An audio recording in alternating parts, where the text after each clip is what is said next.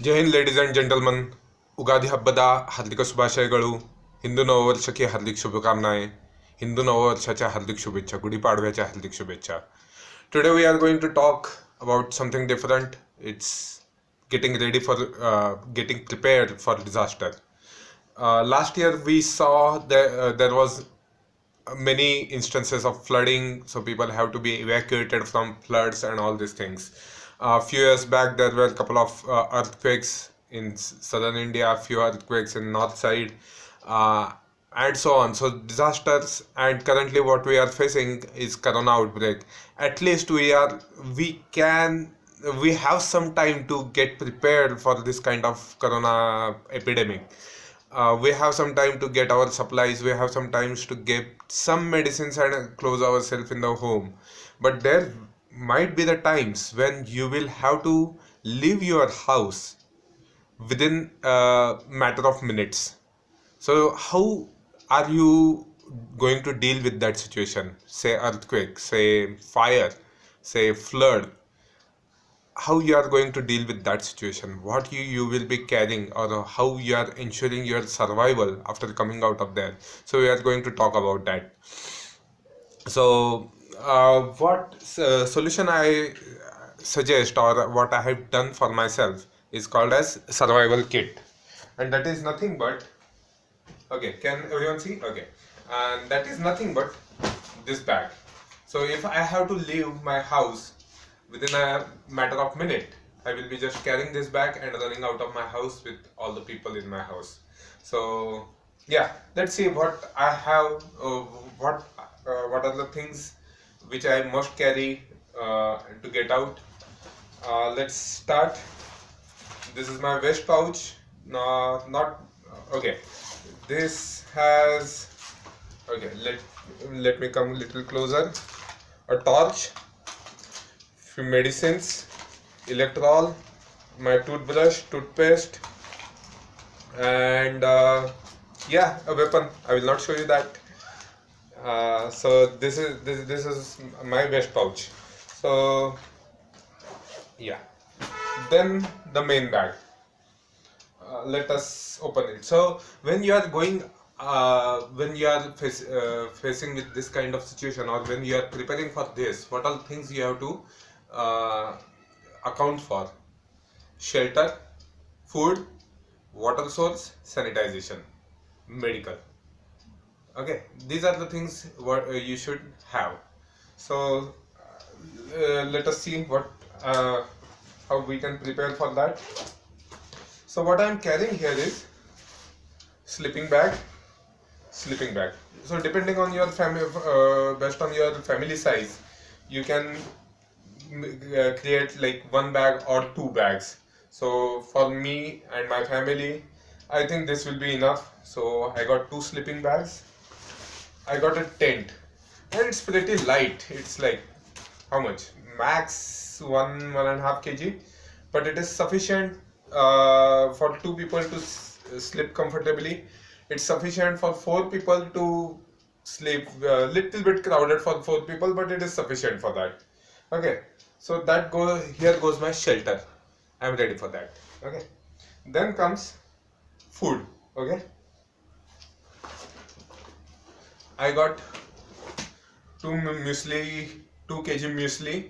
So it's a dry ration. I can uh, i need milk with this but i can eat it for survival dry also. So this 2 kg will help uh, four people to survive at least for uh, two days.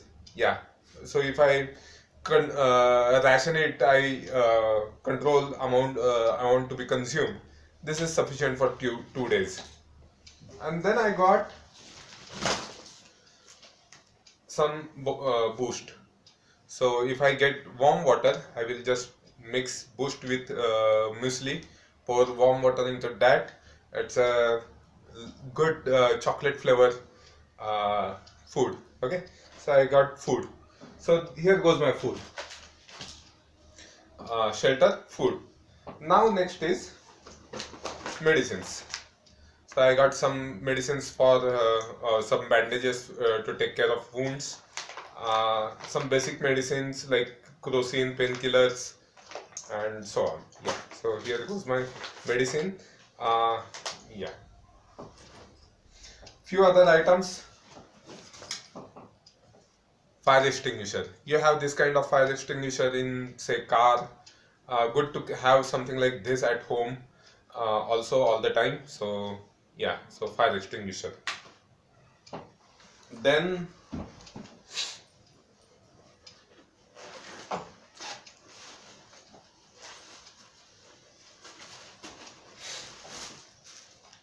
toilet roll hand sanitizer uh, for sanitation. We'll talk about that uh, in some time okay? Uh, tool if i need to cut something if i need to hack through something uh, a cheap roadside tool uh, swiss, knife, swiss knife kind of tool i got. It has few blades few screwdrivers and few spanners. So yeah. So this will help me uh, to work with something in emergency. Is a blanket. I got this uh, some time back. This is uh, what it is called as survival blanket. Uh, it cost it costs around 300 rupees but this is good enough uh, to survive in cold.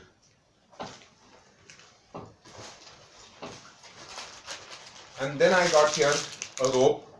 If I have to rescue something or if I have to tie something to something. So I got a rope uh, I got a, rope. I think this is like 10 meters rope yeah this is 10 meters and uh, not most important but important uh, thing got some money and got some got some money and few iCards, color Xerox I kept in this because uh, you don't remember your Aadhaar number all the time. So better to have that uh, color Xerox. So yeah, you need it for many time, uh, many places. Like if you are going to the nearest airport and getting a flight uh, to your native or to your uh, safe house, you need some ID and if you are uh, living your home only with this thing you might not have id so keep your one color xerox of your id right there. So that's a, a good thing to do. Uh, okay say suppose you are out of your uh, house now you cannot okay a couple of things uh, still uh, missing uh, here are one water filter and a water bag. So nowadays we have this flexible uh, kind of water bags. So you should have water bag at least uh, which can hold at least 5 liters of water and a good uh, water uh, filter with chloride drops so that you can kill the germs uh, the water will stink little bit chlorine but that's fine for survival. So uh, those two things are very important that currently missing in my uh, kit but I will surely get that. Uh, so yeah. So with this once you are ready you, you, uh, you uh, in case of emergency you just put the bag on your shoulder and with the whole family you ran out of your house and reach to a, a safe open place. Now uh, it comes to sanitization. So you will uh, not imagine this but after food and all uh, or even more uh, important thing than food is sanitization. Uh, the nature uh, how how and where you have to how and where you have to answer the nature calls most important thing because if you don't take care of that properly maybe this your community will be facing epidemics like cholera and uh, this kind of things in uh, next uh, coming uh, future. So you have to take care of that. How you can do that? Just take some tool from uh, tool wherever you can find it using that dig like one feet deep uh, do your business in that. Keep the soil there itself. So once you do the business cover cover it up with uh, some soil. Next person uh, does the same. So maybe uh, uh, that one feet uh, deep ditch will be filled in say one day so you are closing that you are digging next uh, ditch for the next day. And so you are uh, like that you have to continue. Uh, washing hands will be difficult. That's why you have to use the pa- uh, paper rolls for some time. And uh, w- whatever the sanitizer sanitizer you have. So that you have to use for a couple of days. So yeah Mm, anything else missing? So let me know how uh, how do you like this video? Uh, let me know what improvements uh, we can do uh, more than this. Uh, and remember one thing why I'm creating this video and uh, spread, uh, spreading it. it is not like this is for my family survival but there, there will be thousands of families who will be coming to the road like uh, like this and then being prepared so more and more people are prepared uh, if they are prepared that will ensure the smooth uh, uh, overcoming the problem uh, more smoothly without facing much problems. Otherwise people will not die from the accident. People will die from complications uh, coming with that uh, accident complications coming with that disasters so that those secondary deaths secondary diseases secondary spread of diseases that we will have to uh, we will uh, we will able to control if everyone is prepared. It's not about one person one family prepared. It's about the whole community being prepared for this. Thank you